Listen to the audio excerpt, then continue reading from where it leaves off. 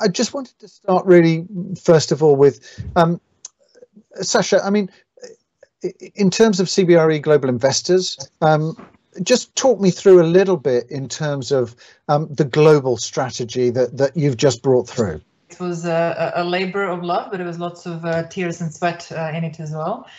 Uh, so because we are such a big uh, investment manager, and we sort of go, uh, you know, we, we cover all sorts of uh, real assets from infrastructure to real estate and private and listed and value add and core strategies, uh, you know, and debt and so on. So it was quite a challenge to come up with something that really speaks across all regions. Uh, across our various stakeholders, you know, be, be, it the tenants or our own employees or our clients, of course, which are mostly institutional investors. Um, so we took quite a while to uh, really investigate what is material for the business, uh, uh, what is uh, what are those issues within the sustainability or ESG, if you like, and there are very many of them, uh, where where our you know our teams and our clients really care about, uh, and where we through you know the, the, particular type of assets that we manage can actually have a, a significant impact. Uh, so ultimately, we came to this solution, which I think is, is quite elegant. Of uh, you know, climate. Of course, we we want to uh, mitigate climate change, but also uh, bearing in mind that we manage real assets. You know, they need to be physically resilient as well. Um, uh, people, so uh, you know both in organizational terms and diversity, equity, and inclusion, but also well-being, and it's really skyrocketed uh, at the top of the agenda with, with the COVID crisis and, and how you know indoor environment can support people's well-being. Uh, and the last but not least is the what we call influence, but it's really collaboration and engagement. Um, it with the tenants or our supply chain or you know clients industry you know things like this uh, it, it, all comes under influence just helping things move move along because we can't do this on our own okay super um, and just just bringing that point up um, i mean can, can can i pick up with you Assem and just I mean, there was the point there about that the health crisis has created a greater focus. Um, do you see this remaining post-pandemic, and how's that influencing your strategy at the bank? I'm not sure if I if I understood your, your question. To be honest, um, is the uh, I was surprised to see that uh, during the pandemic, the the ESG um, issue was in the center of, of many of our clients' uh, um, preoccupations. Um, you know, usually when it comes to to uh, to a, a, economic difficult times, then uh, um, uh, it's uh, the, the ESG issue in the past was sort of a, a luxury uh, theme. However, it, it's now I think it's well in in uh, arrived in the people's um, in, in, the business uh, uh, of the real estate industry, and we've uh, we we accompany our, our clients into that those ESG um, themes and the, those efforts through um, incentivizing um, uh, uh, ESG relevant uh, funding. So one the first step that we undertook was many years ago already, and also creating the Green Pfandbrief was to uh, incentivizing uh, investment into uh, green buildings. having said this, now this is sort of a, a, a, a sort of a standard procedure. All the new buildings are, are basically green. I'm simplifying, but, but in many jurisdictions this has become uh, um, obligatory, uh, um, also uh, pushed by, by legislation. Now, this, the second phase, I think, is now interesting, and now we'll come to a third uh, uh, phase. The second phase is to transforming what is today still grey into green, and uh, so a, a um, uh, notwithstanding any any any uh, any certificates to um, incentivize uh, investments into into the existing buildings to become green that we would, would call transformation um, facilities or transitional facilities elsewhere. And the third thing I would uh, will be very interesting to see how we can manage this as an industry. The cradle to cradle um, um, output can we really get a grasp on, on CO2 footprints from its uh, from the, the, the start of its production to the destruction? Yeah, I think that's really interesting. Um, and uh, I, I want to pick up with you, um, James, just in just in terms of um, the trends. Obviously, you're watching those. Have you seen some of the kind of acceleration, James, that that's been talked about? Uh, no, absolutely. From our from our perspective, um, you know, seeing uh, throughout the the sort of the COVID period over the last year or so, just the the increase in appetite and interest in in ESG related matters.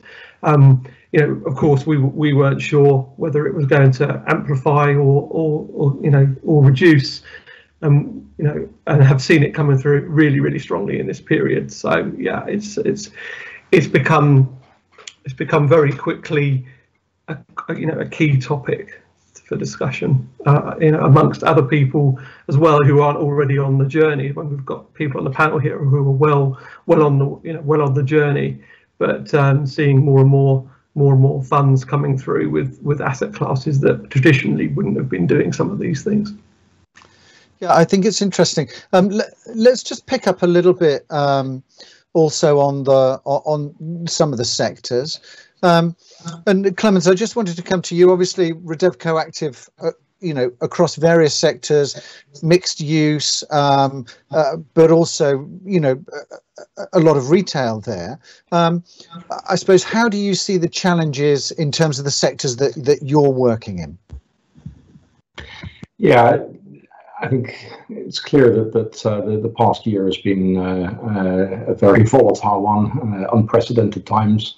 Um, and I think we're all still um, trying to get to grips with with how to navigate through this and, and how it will impact our uh, you know the retail sector, the retail real estate sector, and whether it's something that is structural or whether this is just a, a temporary blip in the road uh, and, and, how things uh, may revert back uh, uh, you know as as we kind of climb out of the um, the health crisis.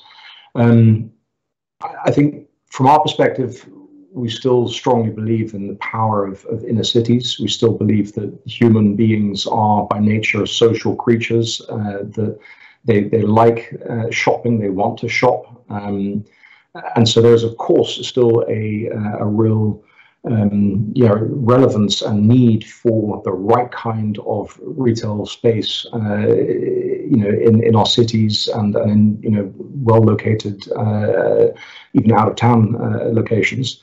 Um, the question will just be, of course, you know, how do you make sure that, that you curate those in a way that uh, you're delivering something that is, is speaking to the changing uh, habits of consumers?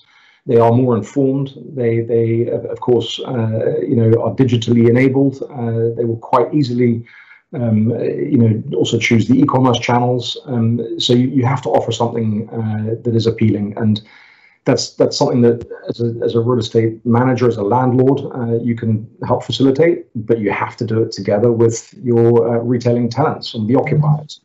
Uh, and that's the, I guess, the exciting challenge for the next, um, you know, uh, five to ten years to see how that will evolve. Yeah, and it'll be interesting to see the evolution, and also just, um, you know, as more investors come on board. Um, I mean, certainly, I mean, Assem, from your perspective, do you see this really growing? I mean, I know there's a lot of um, finance initiatives around there, but we've also seen, you know, increased regulation from the EU coming through, and one would expect that to be followed around the rest of the world as well. Um, so, do you see more of your business heading in this in this direction, really? Oh, definitely. Well, we, first of all, the um, we we are um, uh, defining the precise targets for ourselves. So, so that's already a, a certain focus on on that kind of financing. Um, where uh, one of our targets is uh, to give you an example that we want a third of our portfolio to be eligible for green financing uh, in 2025. Another target is that we want to, to have a, complete CO2 transparency on, on, a, on, uh, on our portfolio. We want to know at any given time how much CO2 is coming from, from the portfolio that we are financing. Um, so, so th- there's a there's an internal dimension and there's the external dimension where we see our our, our clients uh, um, focusing on on on green and, and, energy efficient assets or transforming them, as I as I as I mentioned. As you as we, as we know, um, the the Parisian uh, targets uh, that we aim for in 2050 would mean that we transform uh, 3% per annum of, of existing stocks. So, um, having said this, we know that in big countries like France or Germany, uh, we only transform uh, 1% of, of existing stock per year. So that means that we that the transition will have to pick up speed, and that we that it's it's going to be an exponential curve to to uh, if we want really want to uh, um, get to the 2050 targets that we set ourselves. Yeah, and that's and that's a big target. I mean, just in terms of I mean, because much like you see um, in most countries across Europe, um, the, the the the target set for uh, for building new residential and it never being built, and the target's getting even bigger and bigger. Is this is this a, a problem area for us? I mean, Sasha, from from your point of view, how achievable are these things, and what needs to happen to to actually reach some of these targets that Assem was talking about there? Uh, well, in, in setting our strategy and our vision, we really went into detail uh, on, this specific um, topic because if you set a target and you know, come out and say we're going to be net zero carbon by 2040, you better know what you're talking about. um, so that's why it took so long. Um, uh, so, you know, we, we have like two different strategies depending on the investment strategy uh, of the portfolio uh, where if we have a you know core portfolio, uh, the objective is to hold and manage a green asset, uh, and it, you know it, it, will take time to get there. We're not saying we're going to be in a zero carbon tomorrow. Uh, we need to look at every asset and have a, um, a, action plan for every specific asset, and then build that into the asset building plan, which will be linked to the normal investment uh, life cycle. You know, the tenants, events, whatever it might be. You know, there's so many factors that go into that. So we will improve this asset, you know, in, in a way that uh, also protects um, value uh, and you know we, we provide uh, we, pro we, support institutional investors so you know pensioners are depending on, on us uh, doing our job properly. So it has to be thought out. It's it's a process rather than a overnight thing. And then for uh, value add uh, portfolios which is really either um, it's it's either upfront development um, uh, investment, or or you would uh, buy a distressed asset and um, you know a, a, building that doesn't perform very well, and turn it around, reposition it, and, and then pass it on. So in those, it's actually this delta. Uh, that, that we uh, look at. So, you know, what is, you know, we need to create, uh, in, in, uh, in simple terms, create an asset that a core portfolio would like to have right? So that asset needs to be future proof. While we hold it in, you know, it, again, it's, it depends on, you know, the tenancy and all sorts of lease events and, and so on. While we hold the asset, it might not be brilliant, actually, by definition, it's not going to be brilliant. But once we sort of reposition it, that asset is going to be future ready and zero carbon, if it makes sense. Uh, so the combination of two um, um, uh, are really needed. And of course, if it's a forward uh, forward funding, then uh, you know you put these requirements uh, up front. Uh, but as, as Assem said, you know it's it's really about um, dealing with these existing buildings. You know the what what is the statistic? I think is there's 80% of buildings that will be around in 2050 are already here uh, especially in European countries that we, we have such a such a um, old, if you like, built environment that has value in it, of course, historical value and cultural value, uh, and embodied carbon, frankly, sunk into it. Uh, but we do need to turn around um, uh, those buildings. That that's the more more important thing. Uh, building ourselves out of climate crisis is not really an option. So we need to deal with the existing stuff. Absolutely.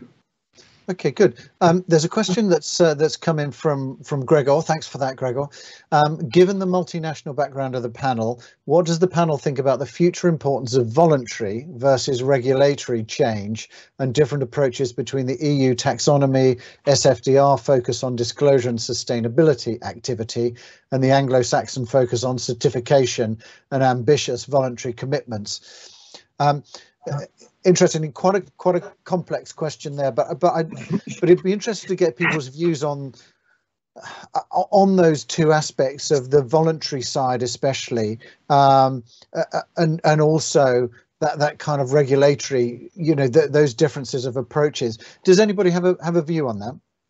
Um, yeah, yeah. Um, um, so uh, my, I'm, I'm a long-suffering BREEAM assessor, actually. So I sort of come from a construction industry where I was sort of we were developing uh, assets and, and you know had to certify them and so on. So I sort of know it from, you know, the very early design days all, all the way to the the actual handover.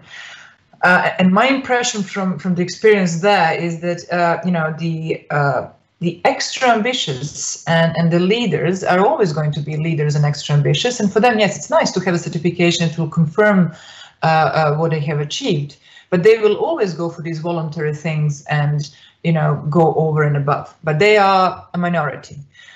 Um, in order to get uh, everyone to move along, uh, you do need uh, regulations and they need to, um, you know, basic requirements and they need to continually uh, push, you know, the, the, behind, if you like. Uh, so um, in terms of, you know, the process and, you know, yes, of course, it's it's it's a burden. But if you know, I haven't heard anybody uh, complaining that financial audit takes too long or it shouldn't be so long and detailed. Uh, you know, it's the same for ESG data and ESG assessments. You know, I, I want to know that the asset that got certified got properly audited, um, and that the data that I'm getting is is correct, so that I can then look what to do next with it. Um, so yes, it is an audit and it's uh, painful, but yeah, that's um, that's life. James, you wanted to pick that up as well.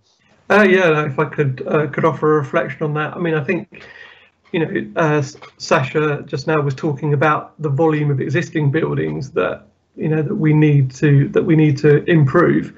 Um, and I think you know that that's one of the key points here. I mean, certainly in, in my my experience more recently, whilst in if we think about BREEAM certification, because that's the one that I'm more familiar with, of course, um, I would say that the UK market is very strong for our new construction certification. But actually, in terms of existing buildings and BREEAM in use and improvement of assets, actual existing building improvements, I would say that the European market has been stronger. Uh, you know, over the last few years that I've been that I've been working in this area. If I reflect on you know the work that that Redevco have done and Sasha's done, um, you know, with CBRE, and then the the take in Sweden and, and France, the French market, uh, you know, much higher on the existing asset improvement. So I would I would challenge that the point that was made in a way. I don't I don't think that there's resistance to certification in in Europe, and I think that people are seeing the value in these processes. And and of course, just to finish off, um, you know, Sasha's point around the audit, um, it, to stand to, to, to stand up to scrutiny and be a third party and, and to mean something, you know, it's it's got it's got to be done properly. Um, and with the rise of non-financial and financial reports coming out on the same day now in, in some in, in some REITs, you know, this is probably the pathway that we're going to need to take so we can pull through the the huge volume of assets that are not in real estate funds as well to make the improvements to those. Okay, good. Um, I mean, there was a lot of discussion in the in the session um, this morning as well about um, you know whether or not SFDR would get rid of impact washing as well as greenwashing. Um, Clemens, what's what's your sense of that in terms of regulation? I mean, I know at Redevco you've you've been trying to get in many ways ahead of the regulation um, because you've been driving this um, you know low carbon strategy for for quite a considerable while. Um, but how do you see the regulatory side? Do you see that as positive? Do you do you encourage more of this regulation to help drive it forward? Yeah, thanks, uh, Richard. I think what it comes down to, is, as far as I'm concerned, at least, is that um, you know maybe finally also uh, European institutions and national governments are also waking up to the uh, the urgency with which we need to start tackling this this challenge.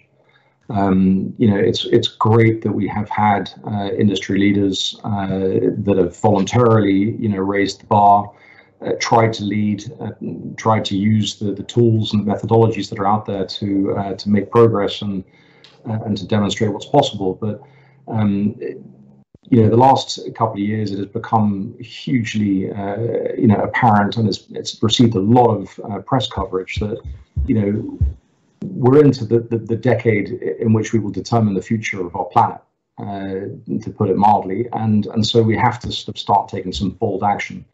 And from that perspective, I think it's fantastic to see that the legislation, the regulatory environment is uh, is upping its game um, which will force you know all market participants to uh, to take this seriously and to to you know make sure that they're you know properly thinking through what their responsibility is. Um, you know, getting the data they need to to be able to report transparently. And you know, let's not forget we don't have to be perfect tomorrow, right? It's it's also about setting a baseline uh, today. Uh, and even if only 10% of your fund is you know, environmentally sustainable, that's fine. It's about how over the next 10, 20 years, you push that to 20, 30, 40, 50%. Um, and I think that's really where, uh, you know, taxonomy, SFDR, TCFD, whatever you want to call it, it's all kind of nudging, you know, market players in the same direction. And I think if we can get more convergence on, uh, you know, the right methodologies and tools uh, to do that, then that's a good thing. And you know, from our perspective, you know, we also made a commitment uh, end of 2019 to work towards a net zero carbon portfolio. Um, you know, we did all the, the, the homework as well to figure out what's it going to take. Uh, you know, we're not there today either. Uh, we have another 20 years, but it is about at asset level, at the moments when you can, intervening, making deliberate choices, and uh, and seeing what the impact of that is on your energy intensity, on your carbon intensity, uh, reporting on it transparently, and uh, yeah, and over time, that track record will will uh, will speak for itself. Okay, good. And I mean, Assem, do you see the transformation part of it um, as the kind of largest section in a way um, and that that's where financing has got to step in and be able to you know be able to support um, investors to be able to transform some of these assets given that the majority of the assets are standing assets and, and need improvement yeah, uh, I want to pick up what what uh, Sasha uh, said before. I mean, eighty percent of the buildings that we that will be relevant in for the two 50 uh, uh, climate uh, goals are already existent. So, so yes, that's definitely a role that we as a lender can play to help our clients to transform the, the those those buildings, make it financially, economically more viable by, um, for example, lowering a, a margin on a loan, and that's that's what we're we're aiming to do. Of course, as a lender, we don't have the direct impact on on the building. We can only um, incentivize our clients to, to do what is necessary, and and that's the the role that we see us playing incentivizing and helping our, our clients to, to, to go down the, the, this route. Yes, it's definitely the existing building which will um, be decisive, decisive in the, in the battle for uh, uh, for the climate neutrality. Okay, good. Um, and James, just in terms of um, valuations and those kinds of things, uh, are you beginning to see some shifts in that? I mean, we I've been having discussions over the past couple of weeks where the idea of valuations beginning to change reflect you know there being different ways of valuing which pick up um, not just the, the the sustainability side but also the social impact side those kinds of things. Um, are you seeing that discussion happening more james at the moment? Yeah i mean i think it's it's certainly an emerging emerging topic and um, something that we're seeing more having more conversations around. Um, you know in a similar way to, to the plea around a sort of a harmonized set of standards and, and, and not having a proliferation of, of different ways to do things, having a consistent set of you know measurement standards that are applied across the board that on-board sustainability measures into that is is absolutely paramount.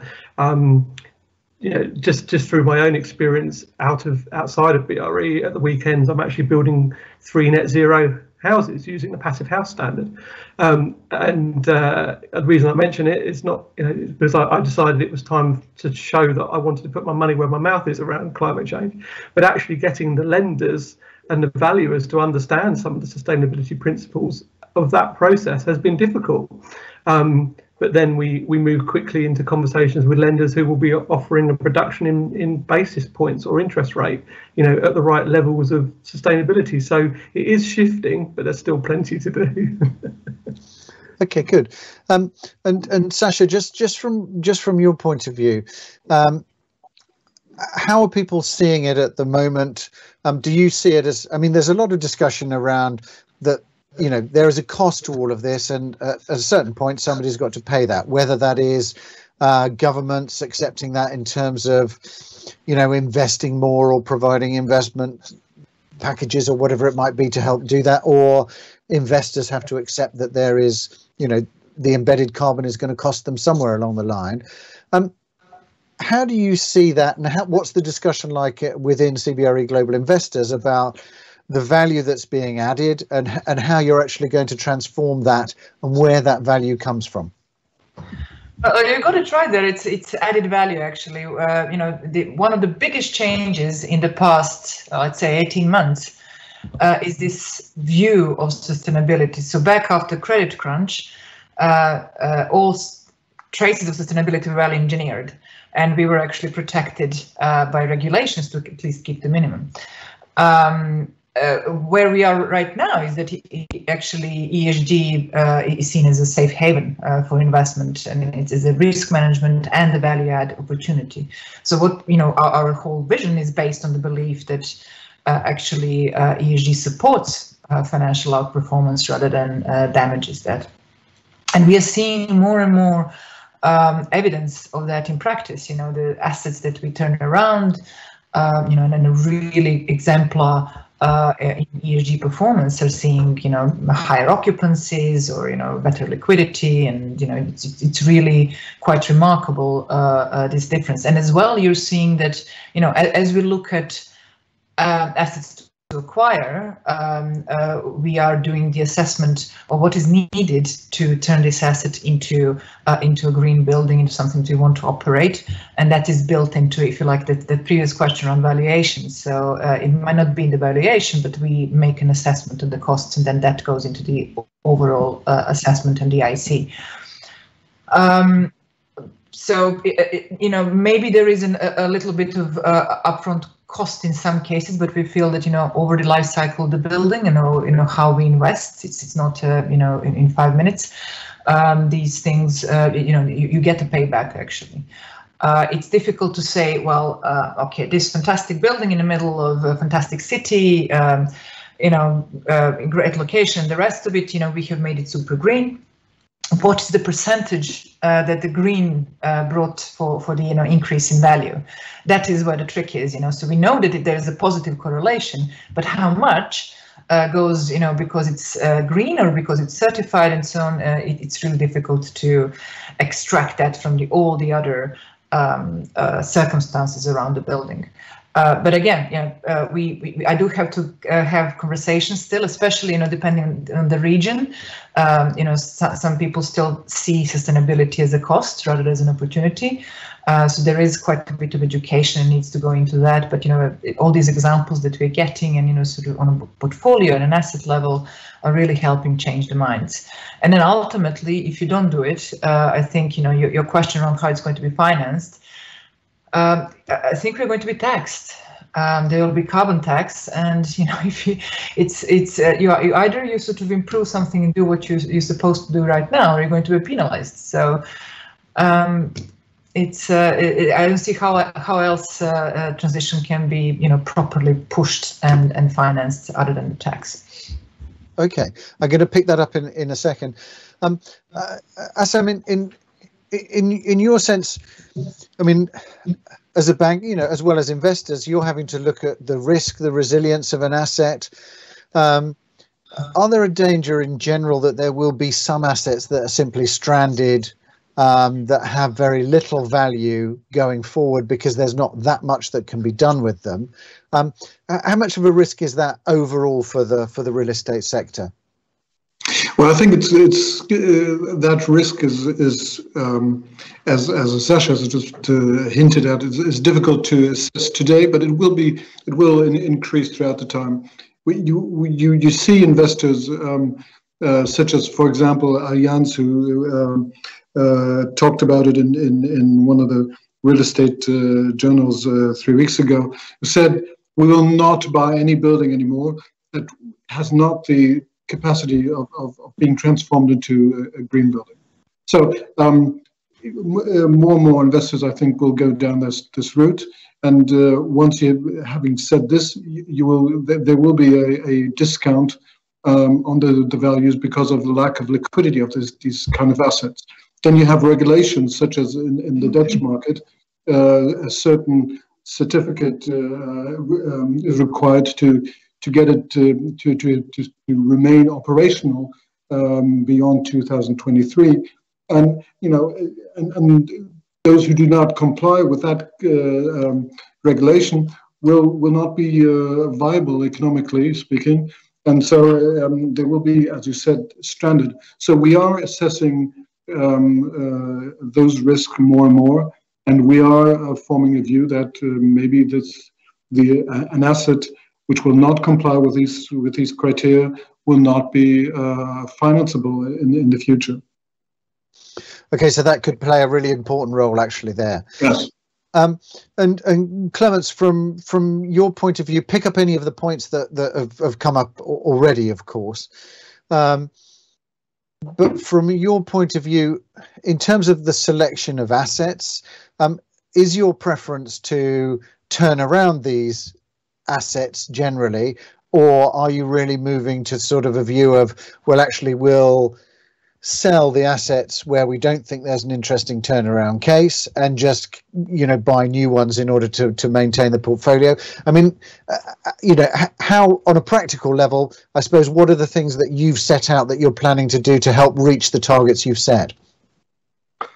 Yeah so maybe just briefly also reflecting on the point about is is you know sustainability a cost or an investment? Um, you know, totally with Sasha on on that that it, uh, it, it does still get seen occasionally as a as a cost.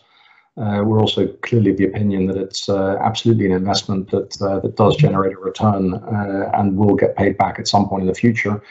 Whether you see it in today's valuation uh, is is is definitely still um, up for debate. I think that's very much dependent on sector as well. Uh, you know, the examples uh, I think that uh, Sasha alluded to in, in, the office sector, it's clear that it makes a difference, and you see it already in uh, rents and in, and in, in, you know operating costs and, uh, and yields. In retail, you don't see it uh, as directly yet, but I'm convinced it'll come. Um, what does that mean for us in terms of you know how do we approach it? look, I think you know, we also have in our kind of our own ambition statement, as it were, we also say uh, something along the lines of, you know, we want to deliberately future-proof assets whilst under our stewardship. Um, now, you know, exiting assets, uh, selling assets that, that don't perform to a certain, uh, you know, EI uh, efficiency standard um, it isn't going to solve the problem for the whole sector, right? You just push the burden onto someone else. Um, that doesn't mean that we won't sell assets. Uh, of course we do, because we have to also look at uh, you know other criteria and other things that that, that push our uh, you know mandates and our, our plans uh, fund by fund. Um, but we also don't necessarily say today that that you know having a certain sustainability criteria or, or level or, or performance is a filter at the front door. So we're not going to select assets uh, uh, only if they are already, uh, you know, totally compliant with uh, with this, that, or the other. I think that's a little bit part of where we have and we see an opportunity to say, you know, if you can buy it at the right price as well, yeah, then there's also some room in the coming, be it three, five, 10, 20 years, to then actually deliberately future-proof it, make it uh, compliant, make it, you know, at an EI level that is uh, in line with uh, the CRREM pathways. Um, and and then at the end, when you do choose to sell it again, uh, uh, you know, you should have a perfectly liquid asset that someone else will happily take on in, into their portfolio. Uh, so, you know, but, but these things change, right? And I think we also work for and on behalf of uh, investor clients. And this is a conversation you have with your investor client. And if your investor says, listen, I have a certain strategy, I have a certain mandate, uh, and I need to liquidate my fund, uh, yeah, then we have to liquidate, and that's it. So it's not something that we determine in isolation. It's always in conversation with uh, our investor clients. And of course, the actions that we do is always with the occupiers. Uh, you know, we can do certain measures. Certain measures might be the responsibility of the tenant. But you know, that's where the business models that we've had for the past 20, 30 years, yeah, that is also going to change. At least that's my conviction. I think we're going to have to work a lot more uh, as active asset managers uh, to really also take responsibility for certain elements of the, the, the building and um, uh, and and uh, you know change the way that we interact and work with our uh, occupiers uh, to at least drive to the results that uh, um, that we need to that we need to get to. Um, it would be interesting. Um, thanks for that, Clemens. It would be interesting, James. I mean, um, in terms of the embedded carbon side, um, there seems to be, you know, a growing conversation around that. That it's not just about building bright, new, shiny buildings, but actually, you know, if you're knocking down an existing building, then you've got to think about the embedded carbon and balance those things out. Um, how easy is it to pick up that within the sort of um, I suppose, the measurement side and begin to take more of a, a holistic view, I suppose. So, I mean, know, it's interesting now that suddenly some of these topics have becoming ever, you know, ever more quickly to the to the fore. Um, you know, we we have a responsibility, of course, to try and move move the the schemes and the standards in in line with with you know the questions that are being asked by the market. Um, I think fundamentally for us, it's about being able to to support people in in asset by asset improvement, you know, fundamental action planning around around buildings. Um, to Sasha's point about the, the valuation aspect, we uh, we were involved with a, on a study with JLL, where all other things being equal, um, you know, the the rental yield from a certificated certified asset was sort of eight percent up to eight percent increased, um, with everything else being the same. In terms of new new topics, I mean, it's the drive for you know more insights, more benchmarking, sort of harmonization, streamlining, cradle to cradle carbon is something uh, that people are starting to ask about. Um, whole life performance and the sort of what's the, the next generation of, of, of, of and, and other standards. You know, these are all things that we we constantly talk to to our, our stakeholders. I'm not a big fan of that word, but stakeholders about. Um, and you know, some of the people on this panel have also helped in in the development of this. It's an evolution and a step that we all need to take together, so that we can pull the mass market, you know, of, of assets that aren't inside in, in, in you know in investment funds through as well because it's all those buildings that are owned by individuals and smaller companies where there's much smaller portfolios that that's where the, a huge amount of the impact also sits as well.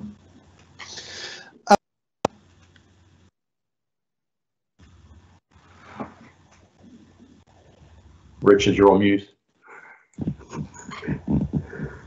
That's a new good, one. good heavens six. it makes me feel better now. I, I, think that's I think I think that's about 140 of these that I've done in the last and never been on mute. And uh, and I'd like to blame entirely somebody knocking at the door and my dogs for that. um, I just wanted to pick up. Um, there's a focus around build back better. That's a sort of topic that that keeps appearing, um, and I, I suppose I just wanted to get some practical examples in a way of, of what we can do, what investors, what the people watching this can do, um, joining the session. What does that mean in terms of, of financing? What are what are the strategies that are going to help deliver that really, um, Assem? It's that's a very tough question. Well, first of all, as I said, uh, green buildings always it's that's an easy one. Transformation um, we, I think there's no, uh, for the time being, there's no certificate that would tell us how much a a, uh, um, a uh, capex will uh, res result in, in an economy of, of CO, CO2. That's that's actually what we're trying to to achieve. We are measuring the the before uh, uh, footprint and the after footprint, and if that complies with certain criteria, we will help our client to, to in, in terms of a cheaper funding. Now, um, the question that, that you implied, are we we also uh, taking into consideration, for example, hybrid construction? And that's what actually um, what your your your question I think implies. Um, that's that's difficult. We're not um, we're not ready yet to to really um, quantify a, a, a, criteria for that hybrid construction. What what what I can say is though that we definitely will um, uh, uh, view very favorably um, construction that that are uh, um, taking into consideration the cradle to cradle CO2 footprint uh, using hybrid construction methods and, and materials that will reintegrate into uh, into uh, um, other constructions once the, the building has been taken down again. So um, those kind of initiatives we are viewing very favorable. Okay, good. Um, I wanted to I wanted to just pick up um, and Sasha maybe, uh, but this is to everybody really, which is um, do we think, given that COP26, and I know not everybody is in is in the UK, um, but COP26 is going to be in in Glasgow. Um, do we think that there is going to be a larger um, sort of representation from the real estate side, given the impact that that real estate in the built environment has um, on these than than before. I mean, it's it's interesting that it was it's been less of a discussion, but I'm beginning to feel that it's it's going to be more of a discussion as we build towards COP26. I don't know if anybody has a view on that. Um, well, uh, uh you called me on, so I'll, I'll start. Uh, I think it absolutely must. Uh, built environment, and I'm sure everybody knows the statistic that is, is responsible for about 40% of carbon emissions, you know, from the construction to the life cycle. Um, so if, if this country and, all the other countries are going to achieve that uh, 2050 um, net zero carbon emissions, they built environment must be part of um, you know contribute and and you know and either you know through voluntary means or through regulations or, or taxation or whatever it might be. Uh, so it's it's a massive part and i think uh, it needs to it needs to be represented in um, in, in the cop as well. Yeah, Richard, I think actually, uh, if my understanding is correct, um, the UK GBC uh, has been working very closely with uh, the COP organization and uh, Alok Sharma, the, the, the minister who, who's now focusing exclusively on COP, uh, has already agreed to a built environment day uh, at COP. So it is definitely going to get a lot of attention later this year in, in, in Glasgow. Um, if I if I may, can I just quickly go back to the, the, the previous question on sort of examples and and you know uh, you know practical things that that uh, you know asset managers, uh, investment managers can be thinking about. Um, you know, we also looked at a number of redevelopments that we did in our portfolio, uh, sort of a pre and a post analysis uh, and impact on energy intensity and carbon intensity. And we didn't actually sort of approach the development at all specifically on that topic. We actually just looked at uh, how do we improve it to a BREEAM very good. Um, and just by doing the kinds of things that you would do to achieve a BREEAM very good, uh, we actually achieved on average about a 40% uh, energy intensity uh, reduction um, through the development. Now, that that gave me a lot of comfort around uh, you know also planning through our roadmap for, for net zero carbon to say well if you just continually raise the ambition on BREEAM and say yeah rather than just targeting very good if you target excellent and if you start to deliberately look at those elements of a, uh, a redevelopment uh, a re- retrofit a refurb that will have impact on uh, energy consumption uh, energy efficiency uh, and that specifically relates to things like, you know, your insulation, your glazing, your installations, uh, whether it's yours or the tenants. Um, you know, by making that just a bit more explicit and just looking and using tools like BREEAM and targeting things, you know, the rating of, of excellent, you will undoubtedly get uh, a 50, 60% uh, reduction in energy intensity and the corresponding uh, CO2 emission uh, reductions, especially if you choose to also get off natural gas and you use uh, uh, all electric solutions. So it's not, I mean, I don't mean to sound flippant, it's not rocket science. I think we know what needs to be done. Um, it's just that you know all the various actors in the chain uh, need to get aligned around an ambition. Um, you know, that's from the, the I guess, the client first, uh, the architect, the advisors, uh, but also the, the, the, occupiers to say we will make deliberate choices uh, to plan for, uh, you know, a redevelopment or retrofit that will look at all these different aspects. And we will make the improvements that we need to to get onto that kind of you know CRREM compliant uh, uh EI pathway uh, and, and, corresponding reduction in, in, emissions too. So there's a lot out there. I think we you know we just have to also kind of step out of our own comfort zones and just have the open conversations and seek out the collaboration and just do it. Yeah, I think the collaboration point is a is a is a really key one there. Um, we're, we're coming up to the end of the session, so I, I just wanted to, if you've got any questions, um, don't hold back now is the time.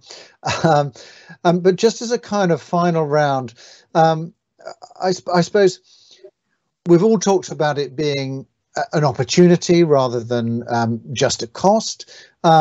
So I guess what do you see as the key opportunity if we're looking um, not just in 2021 but but also also beyond? Um, let's let's start with you, Sasha. Just, just in terms of what do you see as the as the big opportunity, I suppose here. It's I wouldn't pull out one aspect. You know, it, while climate is extremely important.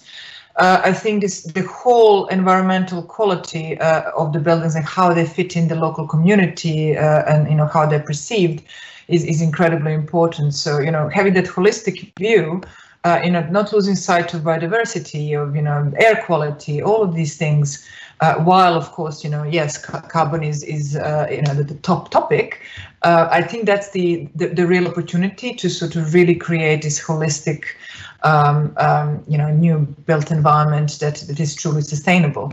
And this is why I like certification systems because they, they look at all of these things uh, in, in, tandem and, and give you a good uh, assessment across the board. Super, great, thanks very much. Um, James, let's come to you. Yeah, just a final thought. I mean, I, I, was just reflecting on somebody who some some years ago told me uh, that the new type of low energy lamps, the CFLs that we can all remember, were a 20 year overnight success story. Um, and it sort of feels a little bit in some regard around sustainability. Obviously, we, we hoped we'd never need to take such such strong action to solve this challenge. But I'm really hoping that we can use the momentum that's building, even in the last you know sort of year or so, to really focus much more quickly on completing the E part, but then focusing on the social impact side of things as well. So can we cover off the S more quickly than we've covered off the E previously? Just a just a thought, really. Great, um, Assem, over to you. What, what what do you see as the the big opportunity? That's a difficult question to to ask a, a banker because we um, we participate in risk and not so much in opportunities, don't we? And and I can say that uh, the opportunity for investors who come to us is to to show the sustainability of their their their project, either in, in social or environmental ways, but definitely in, in, in, terms of environment. And in having said this, the the the um, getting funding for a non-ESG compliant um, project will be increasingly difficult. Okay, great. Clemens. Yeah, I, I, just think that it's a real opportunity for our sector, the built environment sector, to actually kind of surprise um, our occupiers. Um, you know, they're not the specialists. They have ever increasing demands. Uh, they don't necessarily know exactly how or what. It's our opportunity to provide that and to do that in a way that, that is uh, collaborative. It, it brings them along, it engages them, and, and maybe it impacts them in their own supply chain to also ask questions and to, to do things differently. And uh, I, think you know that's a huge opportunity to um, to just make a, a, little bit of a difference to uh, you know kind of keep our our planet inhabitable for uh, for future generations. Great, thanks very much. Really, really interesting discussion. Thanks very much for all of your kind of insights and comments. Thank you also for your questions. Um, you can join in with the networking after this, so um, you can connect with others with other attendees. Um, just use all of the available opportunities that there are for that. Tomorrow as well, we'll be looking at, um, we'll start off at uh, 10 o'clock CET, 9 o'clock UK, um, with seven future trends for real estate with uh, Sean Cooley. Um, and then we're also going to be looking at investments in, in cities, how that's changed or, or how it may change post pandemic. Um, and then in the afternoon, we're, we're taking a look at uh, logistics. Um, so do feel free to, to sign up for any of those sessions for tomorrow. Look forward to seeing you then. Um, but in the meantime, thanks very much for joining us and thanks again to our speakers. Thank you. Thank you. Thank you. Thanks, Richard.